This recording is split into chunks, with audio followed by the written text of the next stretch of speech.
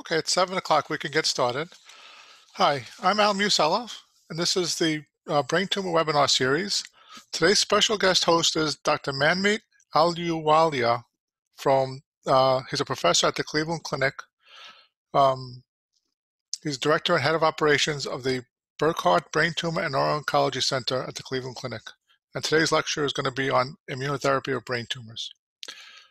Um, take it, take it, Dr. Ahluwalia. Uh, thanks so much. Uh, good evening, everyone. Uh, first of all, I would like to start off by thanking Al for his uh, relentless and contributions. So thanks for doing that, Al.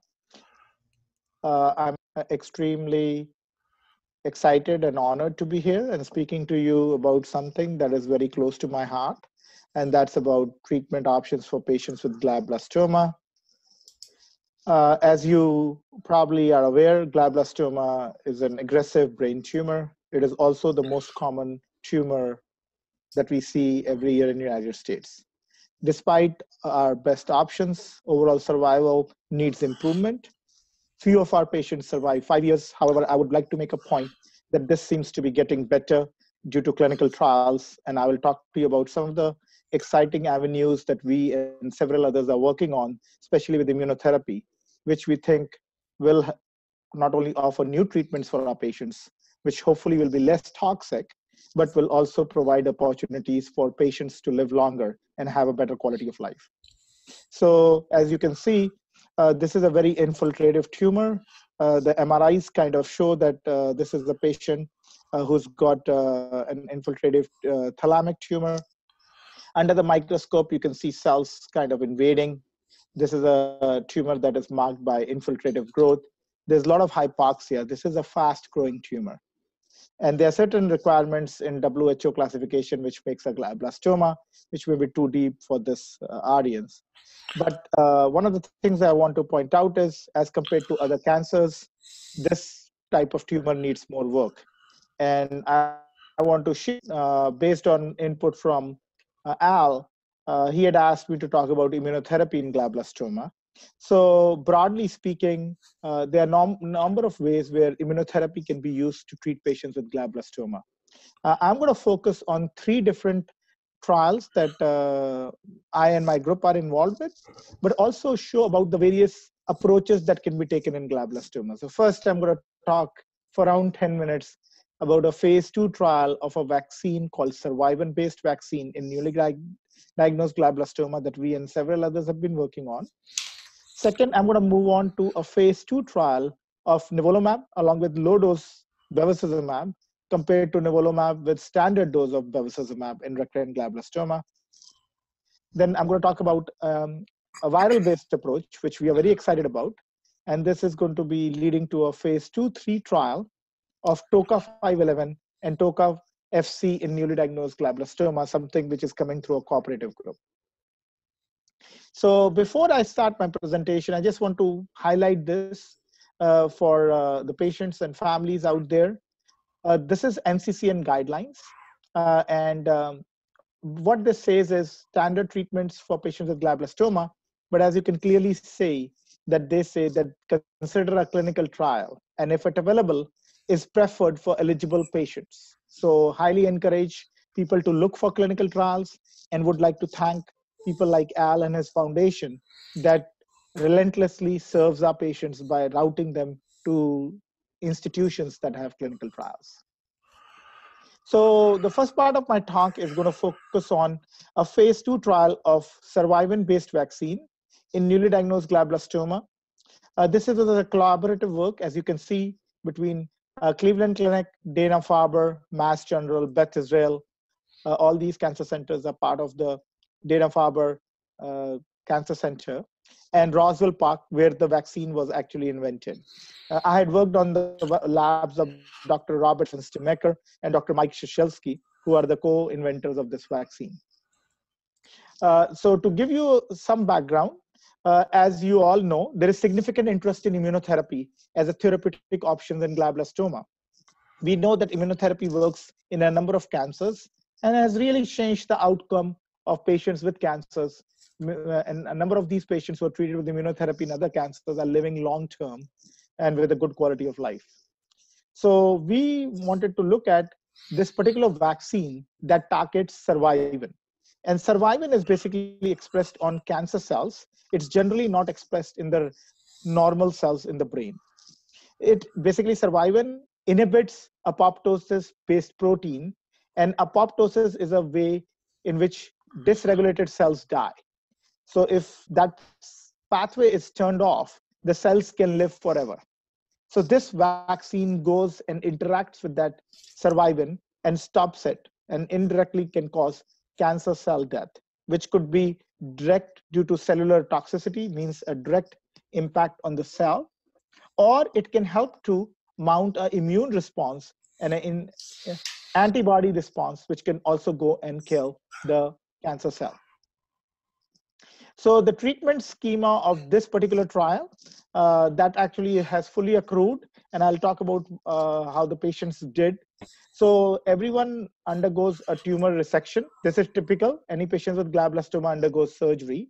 Then typically, as you know, patients take two to four years to heal when they start chemotherapy and radiation. And typical treatment is six weeks of radiation from Monday to Friday, and everyone gets a, a chemotherapy called temozolomide.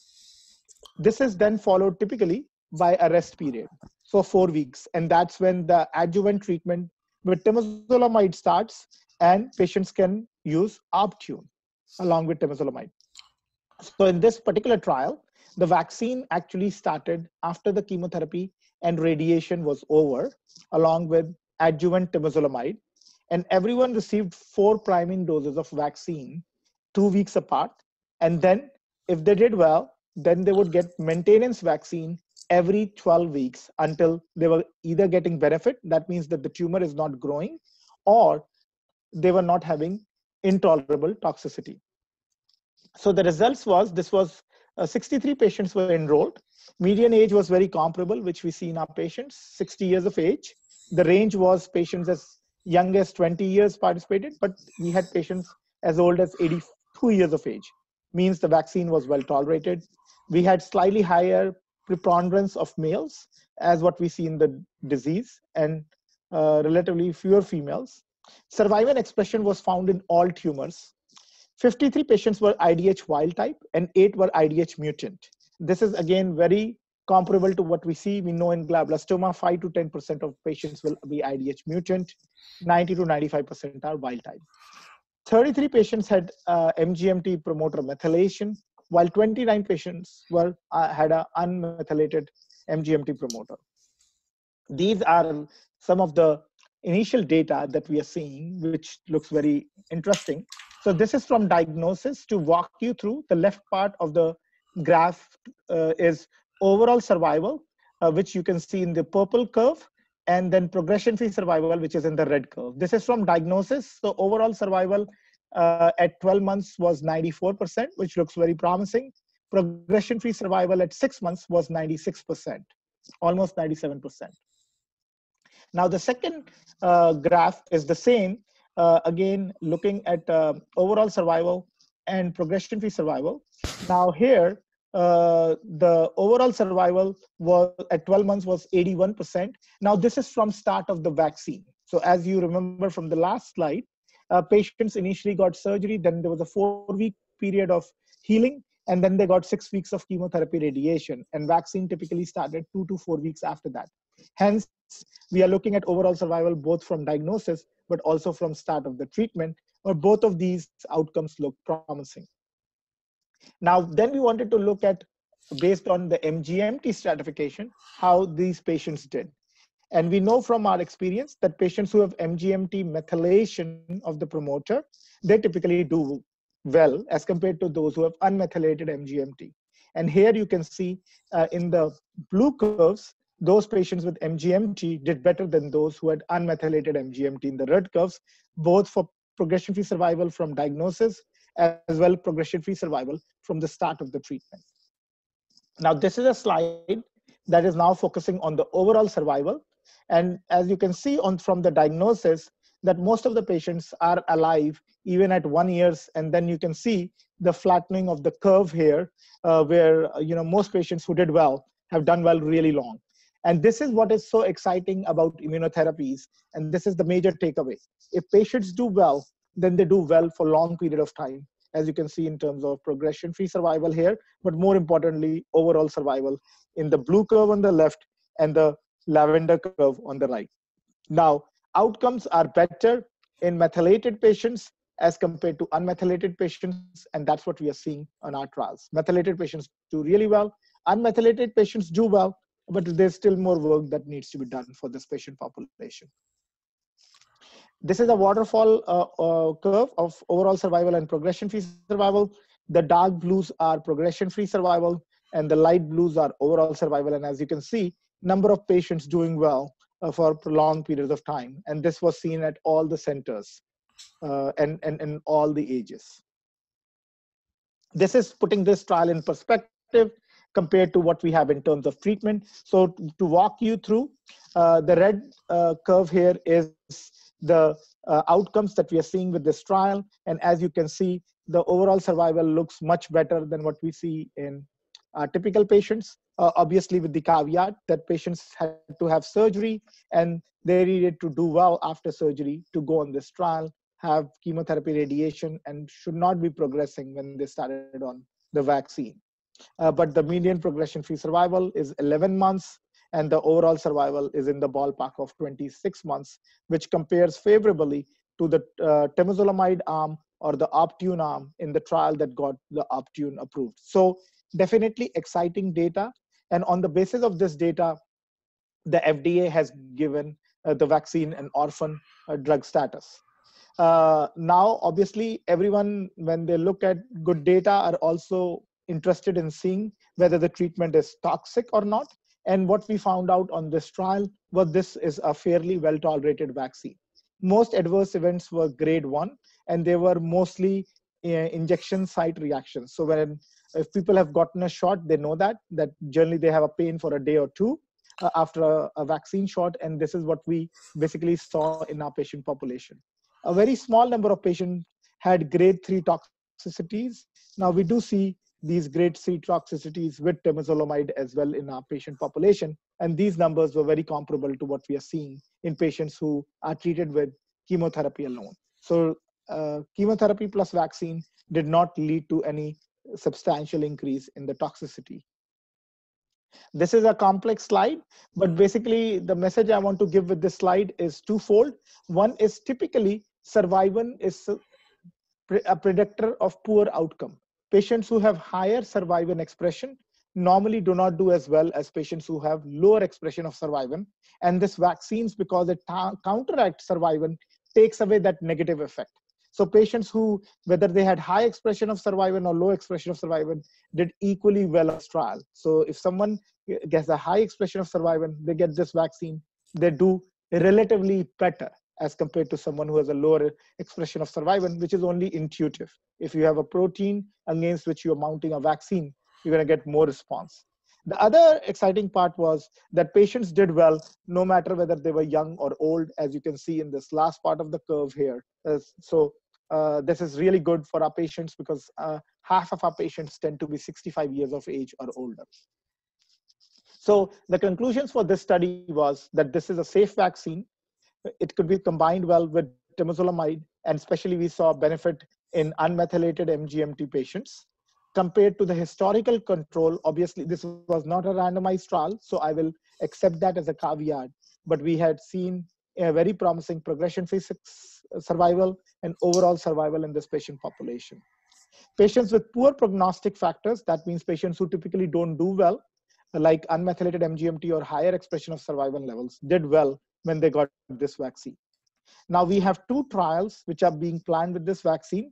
Uh, one of them should be opening at Cleveland Clinic very in near future within the next month or so. This is combining the vaccine with an anti-PD-1 drug. And I'm going to come to that next. There is a lot of excitement with anti-PD-1 drugs like Keytruda and uh, Opdivo or uh, pembrolizumab or nivolumab.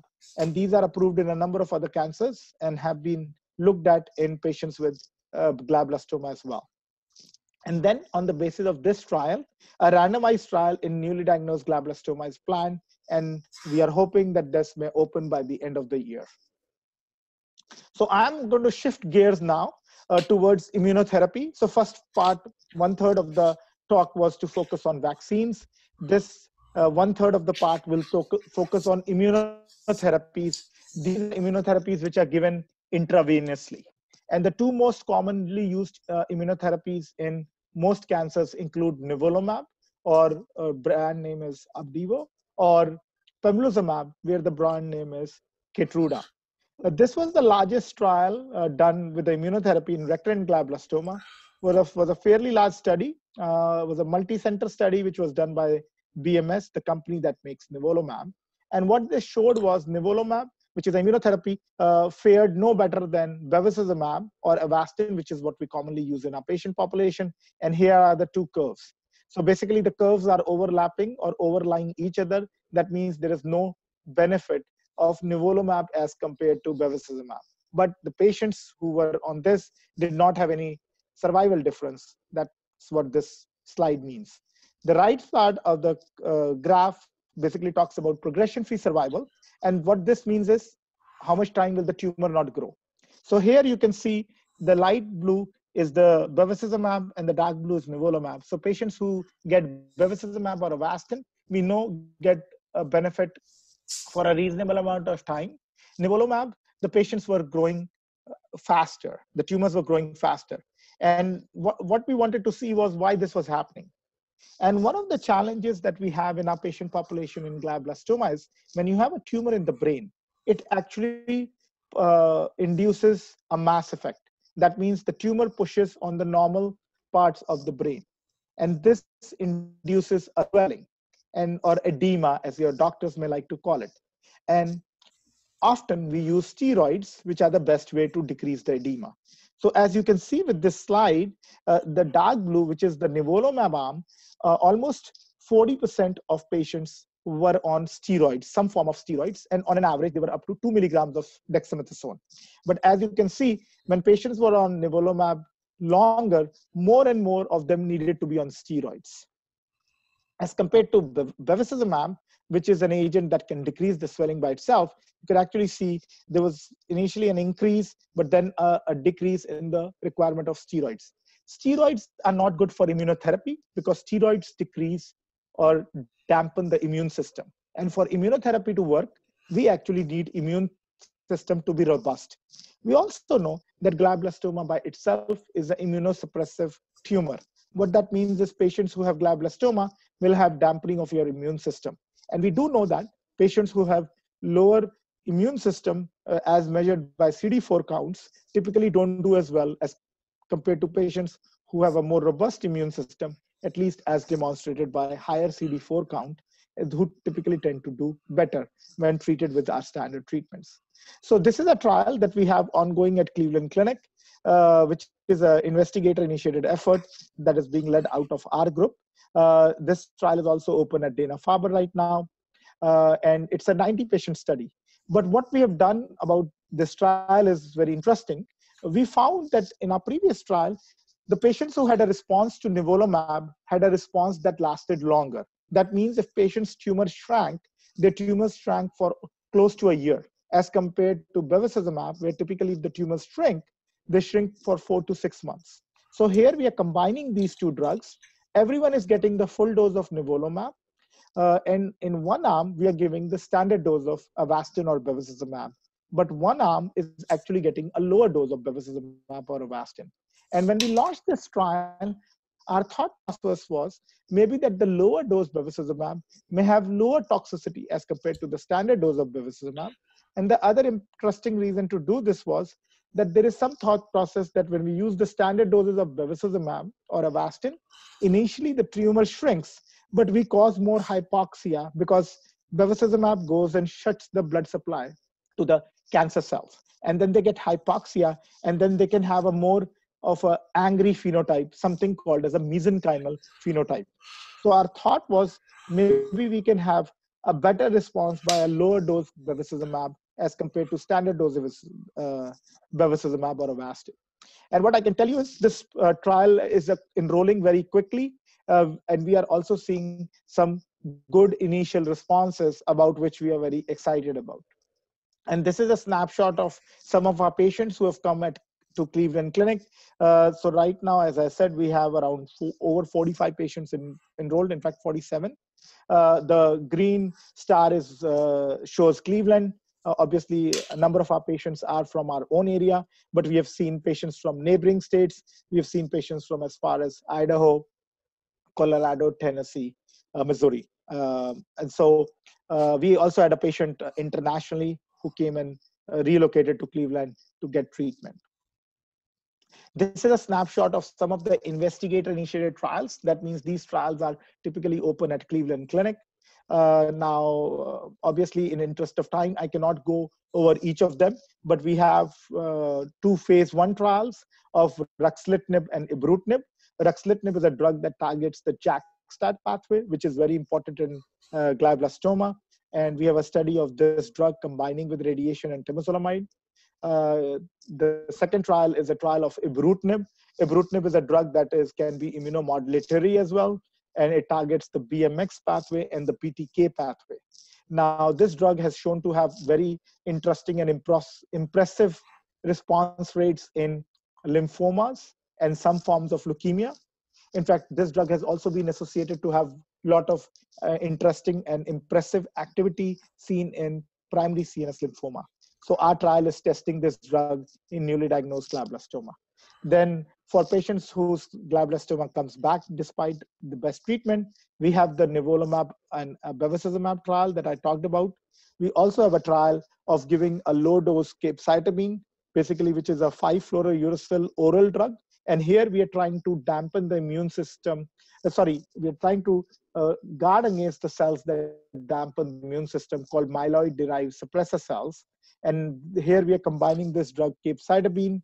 We take these patients to surgery then, and then after surgery, they get bevacizumab and capecitabine.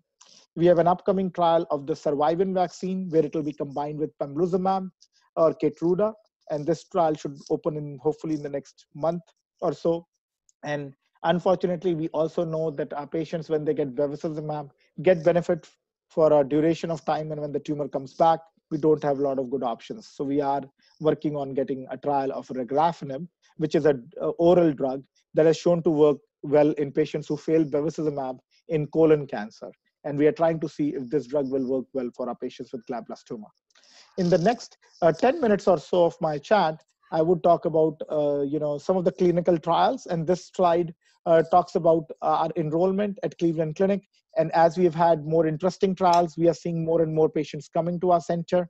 And we are very happy because, as I talked about, the NCCN guidelines are that patients with glioblastoma should ideally be treated on a clinical trial.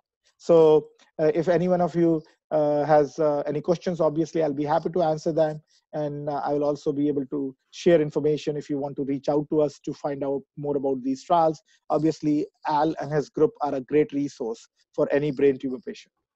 Uh, the last uh, seven to eight minutes, I'm going to talk about this trial where we are looking at a viral-based approach. There are a number of viral-based approaches, as you know, uh, which are being looked at in the country. The polio virus with the Duke group, the DNAtrix virus with the MD Anderson group and the DNAtrix company. And so this is a TOCA 511. I believe uh, their team will be coming on soon in the next week or two, I was told by Al. So there you'll get a much more detailed in, uh, information about this virus. But basically, this is a genetically engineered virus. And what they have done is taken advantage of a fact that viruses have a propensity to go and infect the cancer cells. And we know cancer cells are bad. We need to find a way to kill those cancer cells. And at the same time, we want to avoid the toxicity that the human body can take. So the advantage of using viruses in cancer cells is that they selectively infect the cancer cells as compared to normal cells.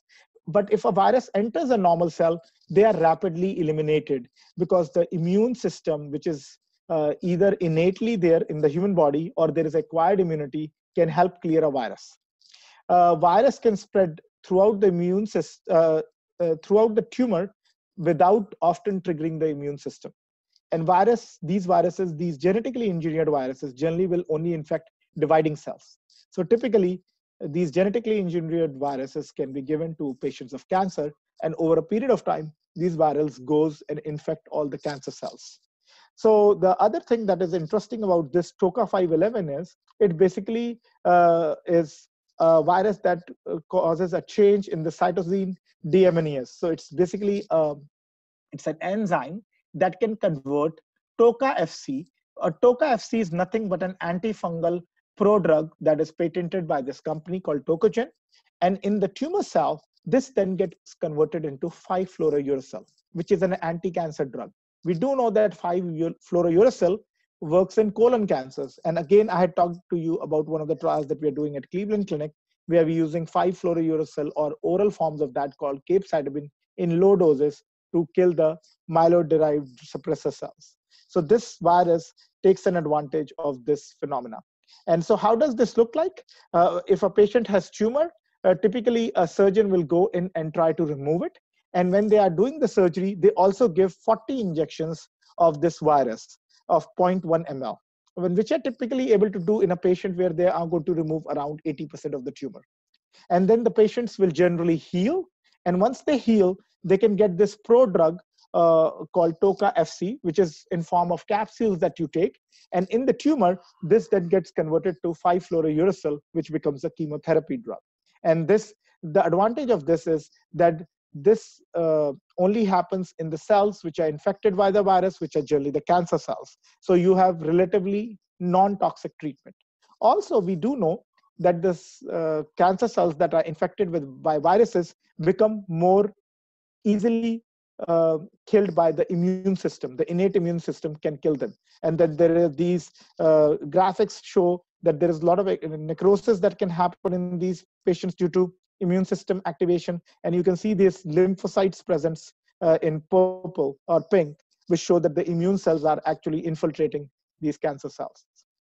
Again, like I talked about, when we give patients treatment, an important part is not only how well the patients are doing, but an, another critical part is how well tolerated the treatment is. So here you can see most of the patients who were treated with TOCA 511 uh, had uh, very limited toxicity. And so it was a well tolerated treatment.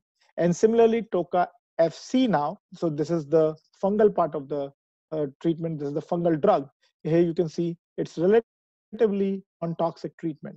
Most of the patients had fatigue or diarrhea, and we know some of the patients can typically have fatigue as a part of their cancer and the treatment. The interesting part about this, although this data uh, cutoff, as you can see, is from August 15th, maybe uh, Harry Gruber will have more updated outcomes uh, when he presents the data.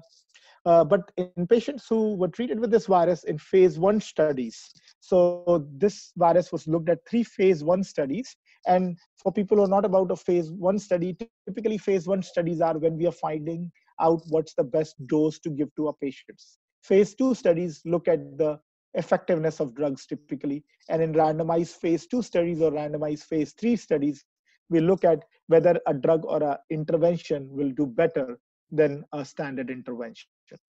So looking at this, uh, patients who uh, had, uh, all patients, we saw response rates in 11%.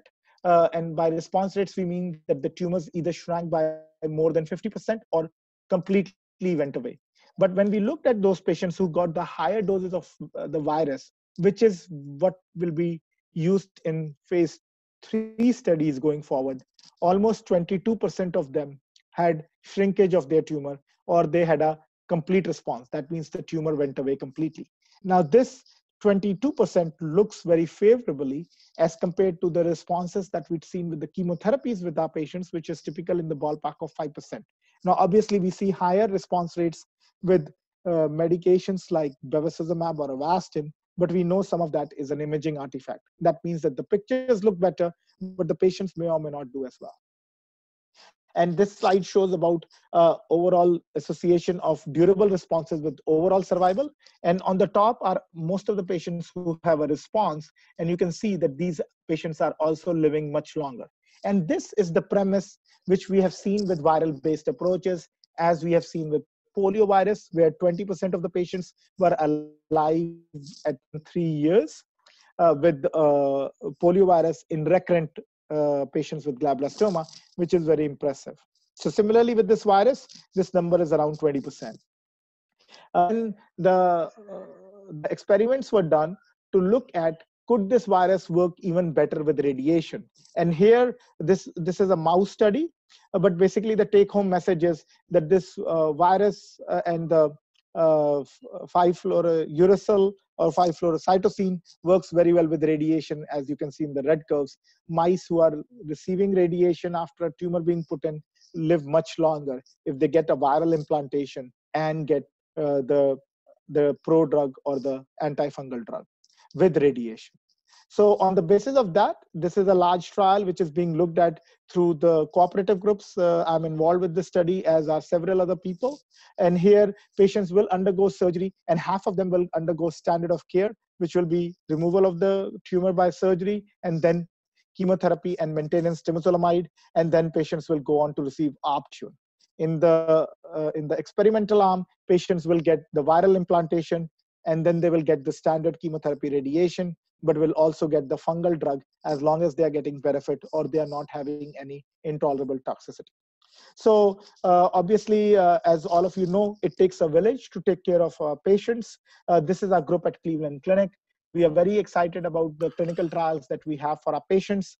Uh, here, as you can see, a team of neurosurgeons, radiationologists, medical oncologists, neuro-oncologists work in hand in hand with our nurses, our nurse practitioners, and it's a all in all a group effort to provide a multidisciplinary approach to provide individualized care for our patients. So thank you so much for your kind attention. I'll turn it over to Al and I'll be happy to answer any questions.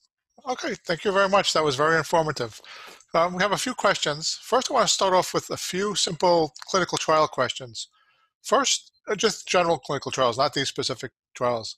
Uh, when you talked about the different grades of toxicity, such as like a grade three rash, can you just explain what grade uh, the grades are, the grading system? Yeah. So so typically, you know, it, that most patients are, are uh, you know commonly see, and that's uh, the blood counts. Okay.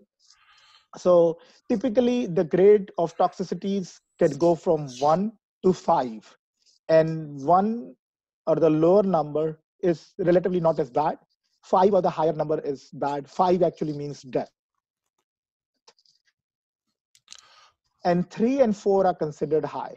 Uh, so at one or two, it's typically uh, uh, grade toxicity. That means if the normal uh, ab- absolute neutrophil counts, for say example, is 1500, if someone would have a grade one toxicity, it will drop down to like a thousand.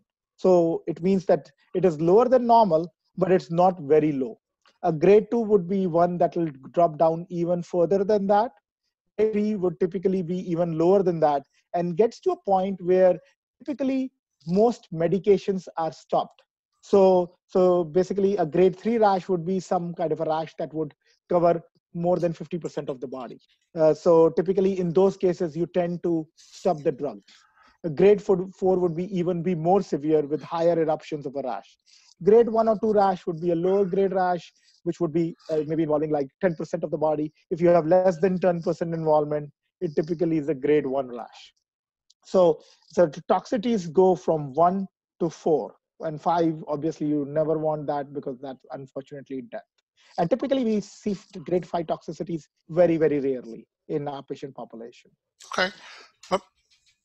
I'm sorry, go on. Uh, uh, so I just wanted to give an example of temozolomide, which you know most patients are aware of, is the most commonly used chemotherapy in our patients. Grade three or four toxicity, that's the really bad one, is seen in around five to ten percent. That means your blood counts will drop to a degree that your doctors may have to stop your drugs. Okay. Uh, the other question is, when do you start a clinical trial? Like, I know there's certain specific times when you're newly diagnosed. Is that before surgery, after surgery, before radiation, after radiation? When do you have to start making those decisions? So I will say, so my one uh, humble request and advice to people is start early. Uh, so unfortunately, as soon as people get a diagnosis or someone even tells them that there is a worry of diagnosis, I recommend reaching out and reaching out to larger centers that have, uh, you know, brain tumor centers of excellence and there are several of them around the country. Uh, and if you can get a surgery at a major academic center or a brain tumor center of excellence, I think that's always helpful. Uh, because typically there you have neurosurgeons who pretty much only operate on brain tumor patients. Out in the community, you may have a neurosurgeon, but that neurosurgeon, you know, they do brain tumor surgery, but they could also be doing spine surgeries. And also the larger centers typically have uh, more equipment where they can do better surgeries like an intraoperative mri where the surgeons can so the challenge with surgery for example in glioblastoma is you want to get the maximum tumor out but you don't want to cause any paralysis or a deficit for a patient that will render them uh, you know either with a problem with the speech or a weakness in one side of hand or legs or the body so typically uh, surgeons will uh, operate to an extent that's safe so to answer the trial question the opportunities to participate in a trial can start even before diagnosis. For example, our Tocagen trial that will be newly diagnosed glioblastoma actually will start even before the diagnosis is actually made in the OR. So the surgeons will get a consent of the patient that if they find a glioblastoma, that they will instill or implant the virus during the surgery. Now, most often though, newly diagnosed glioblastoma patients undergo a clinical trial after they've undergone surgery and then they know that there is a diagnosis of glioblastoma. So most drugs typically start along with uh, either chemotherapy like temozolomide and radiation. Now some trials will start after the chemotherapy and radiation. So as you know, the Optune trial started in that phase. Everyone went through six weeks of chemotherapy and radiation, and then patients got Optune. Similarly, our vaccine trial, the survivin-based vaccine trial that I talked about, also started in that space. Patients had finished chemotherapy radiation. And if for some reason someone does not undergo in trial at that stage, typically they have to wait till the tumor either comes back or is not responding to the standard drugs, and which is something what we term as recurrent glioblastoma. And typically that's the time that patients can go on a clinical trial. Okay, so several, several time points. Sorry, a detailed answer for a question. okay. There's something that I've been wondering all along. A lot of times we see a drug do very good in phase one, phase two trials, then they fail the phase three. I don't understand how something like that could happen with, for example, the Celldex or the ICT 107 vaccine. Yeah, so I think uh, you know, Al, you've you've touched upon something extremely important and I, I, I think the uh, so there is a twofold answer to this, and I, if I may use both of your examples to put this in perspective. Uh, obviously, it is heartbreaking for us physicians and heartbreaking for patients because you know we are always excited about something that looks good in phase two uh, to pan out to be negative in phase three, which is not uncommon not only in glioblastoma but the rest of the cancer too. Uh, a lot of cancers, different cancers, uh, a number of drugs that are shown to be successful in two may not be successful in three. Uh, and I think some there are a number of uh, limitations which are there, and I can address them. So, for example, what happened with in the Celldex was when they had used the uh, the outcomes of the group, they actually did not use the subgroup outcomes as well as they should have from the TCGA. And what we found out was that those who had the EGFR V3 variant they did really well in the normal group. And when they had used some of the uh, normal groups or historical controls, they'd used most of the patients or just saw all the glioblastomas as together. And what we know is that the subtypes of glioblastoma can behave very differently. Uh, it's just a very heterogeneous tumor. Often we lump that together for lack of better uh, subtyping in real time and having good approaches for them. And I think this is changing now because we are trying to look at more enriched populations going forward. So that was one of the challenges we faced with Celldex. Now, in terms of uh, the ICT, uh, and obviously you have better experience with me uh, with uh, that, Al, as you know, but there were some subgroups that actually got benefit.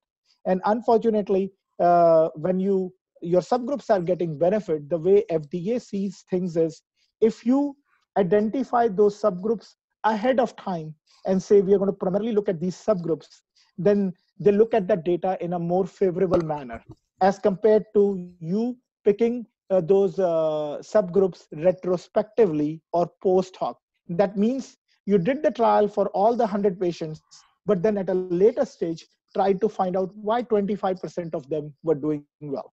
And we and several others are working uh, hard to circumvent this in future. So just to give you an example, the nivolumab and bevacizumab trial that we are doing at Cleveland Clinic, we are trying to look at the genomic profiling of the patients. So I did not share some data, obviously, in um, in interest of obviously that it's not uh, available for public sharing right now but we are seeing some interesting responses and we are also seeing some imaging characteristics of our ability to predict who's going to get benefit.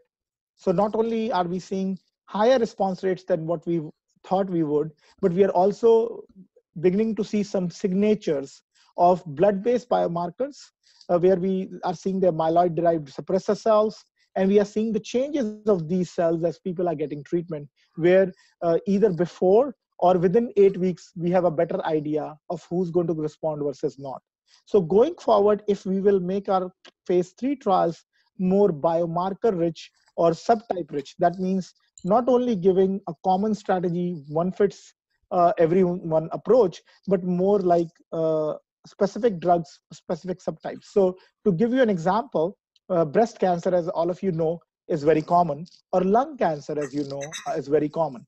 But now what we are finding out is that the breast cancers are commonly divided into three types. One type is those who have hormone responsive breast cancer.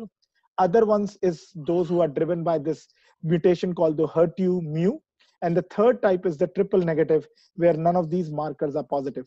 And these patients tend to behave very differently based on what type they have and their drugs are very different based on the types of breast cancer they have.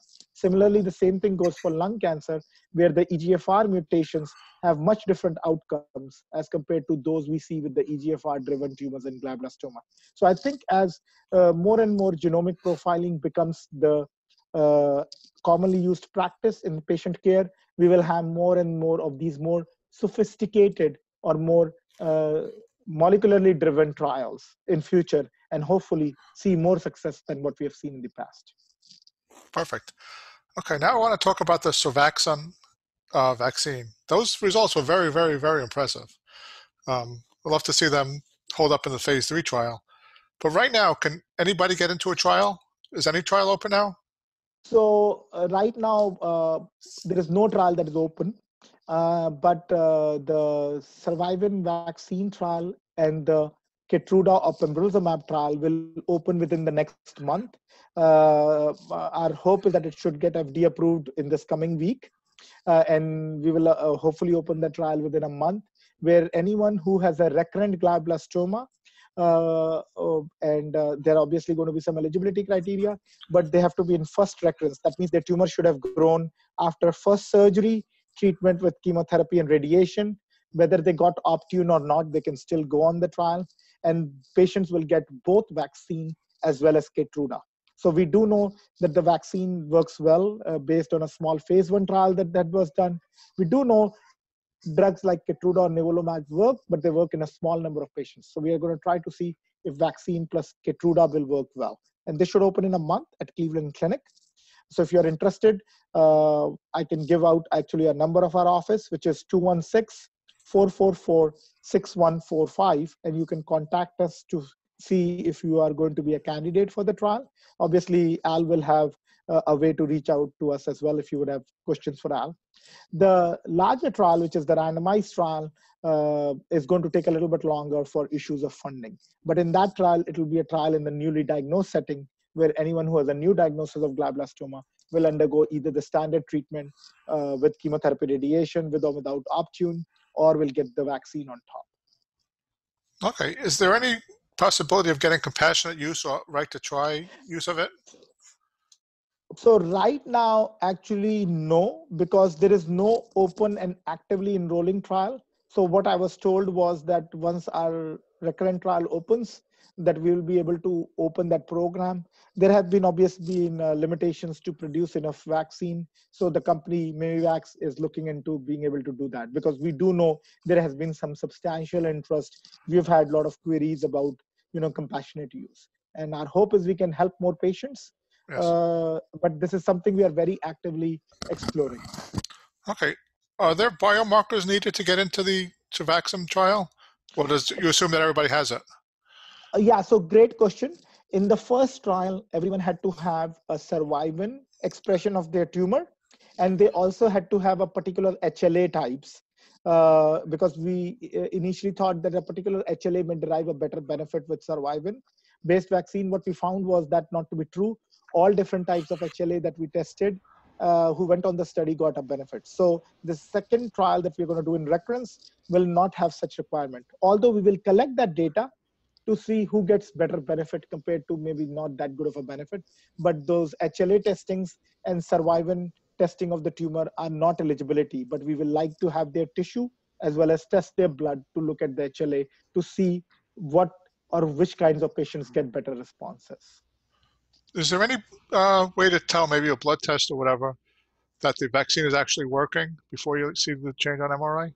So we saw, I didn't share it in great detail, but we do see increase in the antibody to survivin. So patients who have a higher antibody uh, expression in their blood or uh, quantities in their blood typically get a more robust or a prolonged response. So yes, there are there is at least initial preliminary data. Now we are also very actively looking at in terms of genomic profiling that can we also find genomic predictors of vaccine benefit. We should have that data within the next four weeks. Good. Okay, let's move on to the nivolumab plus Bev trial. Um, this is going to sound terrible, but is it free to patients? Uh, so, you know, not, uh, listen, financial toxicity is a big challenge in cancer patients. We all realize this. Right. It's a major, major problem that unfortunately our patients and their families have to go through when they get this very difficult diagnosis. Right. So the way this trial is built, uh, in full disclosure, I am the principal investigator of the trial, and this trial is supported by a grant from BMS, which is the company that makes uh, Opdivo or nivolumab. Everyone will get the nivolumab free of charge on the trial. The bevacizumab or Avastin, because it's considered standard treatment, is going to be billed to people's insurance. All the standard tests that we are doing on the trial will be billed to their insurance, which ideally speaking, their insurance should cover. Whatever will be the research test that we are doing will be free to the patient. So the research drug and the research test are covered by the grant and the company support. Uh, all the standard treatment will be billed to the insurance. Good. We have a uh, co-payment assistance program for Bev, but not for nivolumab. And we always get questions, but nivolumab is very expensive, and people are always trying to find a way to get that cheaper. So, oh, absolutely. your trial. Okay. I, I, can say one of our patients who, who had resources came to see us from an outside city, did not want to travel, wanted to get it, you know, and was willing to pay for it. And when the numbers they got was pretty high, it was close to 30,000 and so they decided to participate in the trial because it's almost cost prohibitive. Yeah, that's thirty thousand per month, right? Yes. Um, you mentioned about all the swelling. Uh, are there other ways to reduce the swelling other than steroids and Avastin? Whatever happened to the drug Xerecept? yeah, yeah. I I don't know where that uh, that is honestly, and uh, you know, and one of the things that we are actively looking at, and the next time I do a bevacizumab trial. Uh, so first of all, we are trying to specifically look at the low dose of Avastin in that realm. So still steroids are the fastest and best ways to decrease swelling. We don't like steroids because they make our immunotherapy less effective. Uh, that's why our trial with nivolumab is trying to use Avastin. Now, typically, um, I'm not a big fan of Avastin by itself, but when you're combining it with the immunotherapy, I think Avastin can give you a twofold example uh, advantage. One is it can take away a need for steroids if there's a need for steroids. And B, Avastin itself actually goes and attacks the vascular endothelial growth factor. And VEGF or the vascular endothelial growth factor actually is immunosuppressive by itself. So if you produce, if your tumor is producing some of it, it's nice to get that down. So that's why we are very excited about the low dose trial because we think with the low dose, we may not mount an uh, hypoxic reaction. That's when the tumor turns really angry, and we're trying to prevent that. So I think our, our results will be intriguing. It's a large enough trial that even if there is a, a hopefully not too large of a difference, even we may be able to catch that. So stay tuned. But I, I agree completely with you. If we can find more effective ways of getting the edema down, I think that's definitely promising. But with, with immunotherapy, maybe a combination with Avastin may have an ad- additional advantage of just not decreasing the edema, but also going and counteracting the immune system. Okay. Um, just a quick question on Tocagen, uh, because it's going to be covered next week. Um, you said Optune is allowed in the control group, but not in the treatment group, correct? Yes, so I didn't say that, but you are absolutely right. I shared that with you offline. Uh, so right now, there is some preliminary data that the Optune uh, may, uh, because Optune obviously works in stopping, you know, cell division, uh, that it prevents the cells from dividing. It may it may impact the viral replication. So at least at this current time point, the patients who will be going in the experimental arm will not be getting Optune. Okay. Um, that just makes it harder to meet the endpoint. I, I, I certainly uh, agree with that, and you know uh, uh, the company is working. I'm hoping, uh, but Harry Gruber can answer that question better than me. Uh, but based on the preliminary data, uh, you know they were not in favor of at least allowing Optune. But I agree that raises the bar even more. Okay, one of the patients says they have anaplastic astrocytoma. Can they get into any of these trials, like the especially SurVaxM? Uh, so so uh, unfortunately at this time point the way the SurVaxM trial is it's for glioblastoma patients. Some trials if someone's tumor comes back unfortunately if they do get a repeat surgery and the repeat surgery shows glioblastoma may be able to go on some of the glioblastoma trials how it is written. However at the current trial most trials unfortunately do restrict anaplastic astrocytomas now we have another study at cleveland clinic where such patients can go on a different trial, but not at this, not on the SurVaxM trial. Which one do you have for anaplastic astrocytoma? So there is a trial that I'm involved with called uh, Terameprocol. Uh, it's a drug uh, that we are looking at through the American Brain Tumor Consortium. That's also open at other centers as well. Uh, and that trial does allow high-grade glioma patients. And I'm happy to provide that information to you. Uh, it was not on uh, the list because it's not an investigator-initiated trial. Because although I have written that study, I'm doing that as a part of a cooperative group study, and it's open at other centers too, like Johns Hopkins. Okay. Um, let me see. I think that's all the questions that we had. Uh, but I want, oh, actually, one more quick question. Uh, this is not related to trials, but how long do you think Temodar should be used after radiation? Some people are saying six months, some 12, some longer. Yeah, so that is a great question. And i think it's it's a question with honestly no one has a very good complete answer. But i can share with you what we know. So we do know that methylated patients clearly get a greater benefit with temozolomide as compared to those who are unmethylated. So the study that was done through the EORTC consortium clearly had only looked at six cycles which is the only 11 1 direct evidence of the benefit of temozolomide. And this was chemotherapy radiation for six weeks, followed by six cycles. When they combined data from four large trials, and some of these trials allowed patients getting temozolomide for six months, and some of these trials actually allowed getting temozolomide for even 12 months. And when they looked at it, what they found in retrospective manner or post hoc manner means these trials were not specifically designed to look at this question, but they aggregated all the data and wanted to answer this very important question. So what they found was twofold. One is that the MGMT patients who have a MGMT methylation, where most of the benefits from temozolomide is derived, they had a progression-free survival benefit. That means the tumor took longer to come back if they got 12 cycles compared to six. However, the overall survival did not change at all. So whether you got six cycles or 12, even in the MGMT methylated patients, there was no difference. Now, in those who were unmethylated, there was no difference of either progression-free survival or overall survival. So in my patients who are MGMT methylated, I have this discussion. I typically, in my common practice, will stop at six months if they're having any toxicities of the drug or having problems with nausea and some of the other quality of life related issues. If someone's methylated, I do have this discussion and I'm open to going up to 12, but I tell them there is no level one evidence of a benefit and B, whatever retrospective benefit we have or retrospective evidence we have is that there is only a progression-free survival benefit and not an overall survival benefit.